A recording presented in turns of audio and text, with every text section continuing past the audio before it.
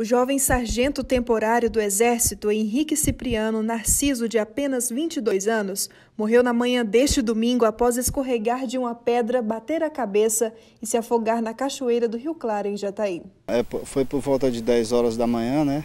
Ligaram lá para nós nosso telefone de emergência, 193, que havia caído em um local cachoeira, onde tem pedras aqui no Rio Claro e que tinha fundado desaparecido. Né?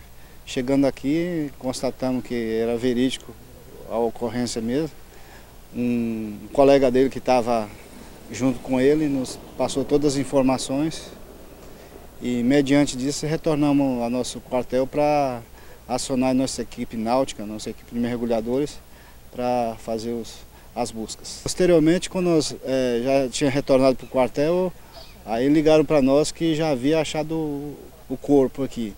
Colegas dele do Exército, que esse, esse rapaz que afogou, ele é um militar do Exército, colega dele do Exército fazendo uma busca aqui, até porque o local é, é fácil acesso, que é raso, encontrou. Tiveram felicidade de, de, de encontrar o corpo, porque geralmente demora vários dias para encontrar. Ele enganchou lá umas pedras e conseguiram achar. O jovem sargento estava neste ponto do Rio Claro na presença dos seus amigos, quando de repente, neste momento de confraternização, ele decidiu descer as pedras e para tirar uma foto naquele ponto. Mas ele perdeu o equilíbrio e foi levado pela força da água. Ele foi encontrado pelos seus companheiros de batalhão 100 metros à frente, mas quando seus amigos chegaram lá, ele já estava sem vida. A gente ficou sabendo da, da notícia, né?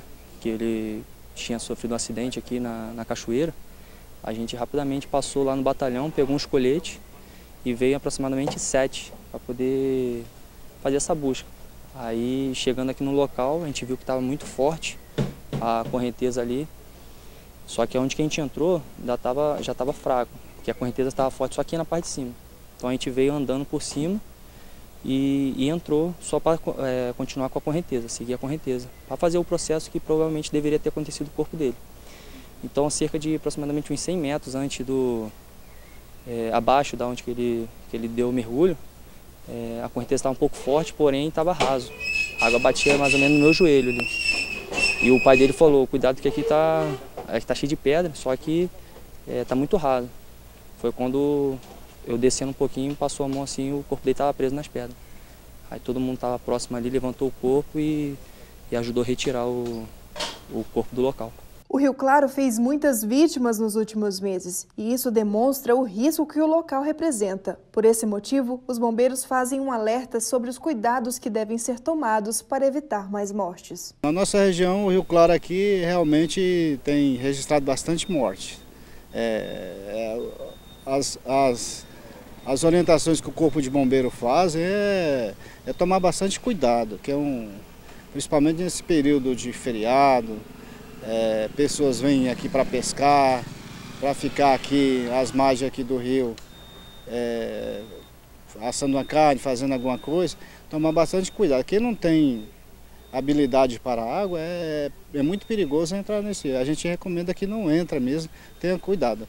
Mas o, o caso de hoje foi uma fatalidade mesmo. Como militar, ele sabia nadar, não ingeriu bebida alcoólica, enfim, foi uma fatalidade mesmo que aconteceu.